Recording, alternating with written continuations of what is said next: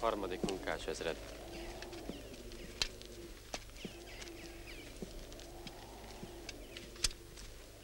Milyen rangja is volt magának? Őrmester. Ne haragudjék, hozzon már egy zöld ágat. Ne innen, onnan!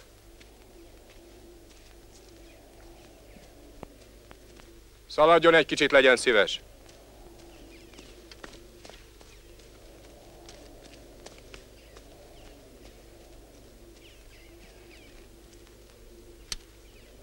Szaladjon csak!